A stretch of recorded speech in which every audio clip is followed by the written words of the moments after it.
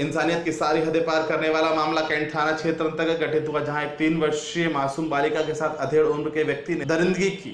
मिली जानकारी के अनुसार कैंट थाना क्षेत्र मकान मालिक ने अपने किराएदार की तीन वर्षीय मासूम बालिका के साथ दरिंदगी की। मामला प्रकाश में आते ही परिजनों ने कैंट थाना पहुंचकर मकान मालिक पहलवान यादव के खिलाफ अपनी मासूम बालिका के साथ दरिंदगी कर हवस का शिकार बनाने की धाराओं सहित पास्को एक्ट में मामला दर्ज कराया।